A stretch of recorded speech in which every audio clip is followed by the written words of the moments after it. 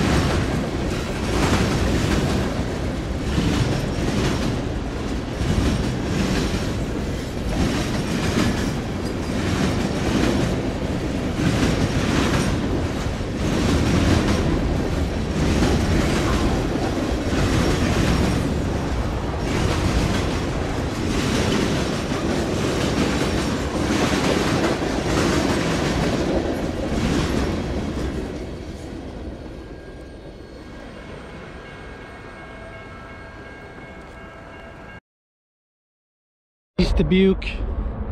the 3rd of March 2021 westbound physically northbound BNSF train coming into town here